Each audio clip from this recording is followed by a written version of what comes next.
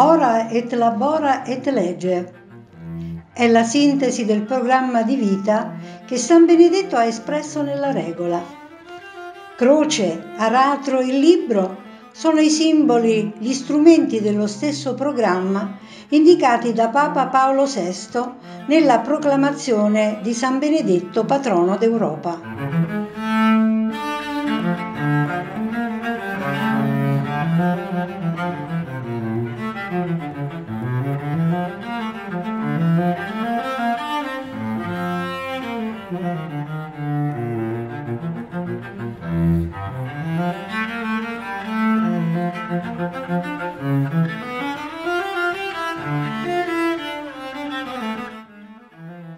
Nei secoli, contemperando quotidianamente meditazione, preghiera ed esercizio della carità con attività sia intellettuali che di ordine pratico, nei monasteri benedettini nacquero invenzioni e si svilupparono tecniche innovative, contribuendo al progresso umano in tutti i campi.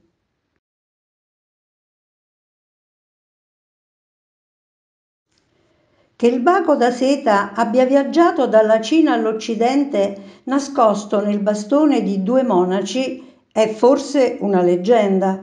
È storia invece che furono i benedettini ad avviare la produzione della seta nella zona di Padova. E con quei fili lucenti abilissime mani hanno creato autentica bellezza.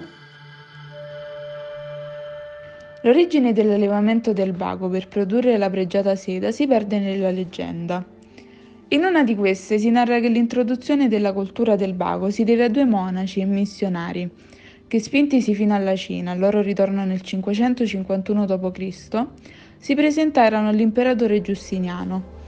Egli narrarono di aver visto che la seta è prodotta da animali e di aver imparato ad allevarli. Portarono con sé le uova del baco da seta nascoste nel cavo dei loro bastoni di bambù. La laboriosa lavorazione della seta comportava un costo elevato che poteva essere sostenuto solo da pochi. Nobili e clero infatti erano gli unici che potevano permettersi tale prezioso tessuto.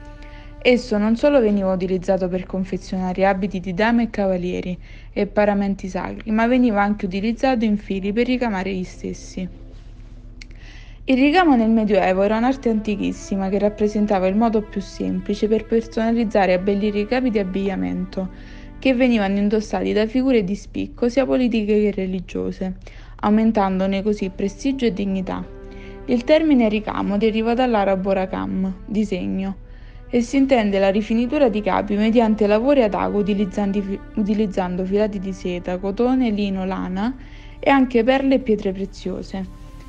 Nel Medioevo, oltre a questi filati, venivano utilizzati fili in oro ed argento, ricavati da fili di seta, attorno ai quali venivano avvolte le lamine metalliche. I temi da ricamo erano raffigurazioni di animali, pianti, fiori e temi religiosi. La Chiesa assegna al ricamo il compito di edificazione religiosa e didattica. I ricami narravano scene del Vecchio e Nuovo Testamento e immagini di santi.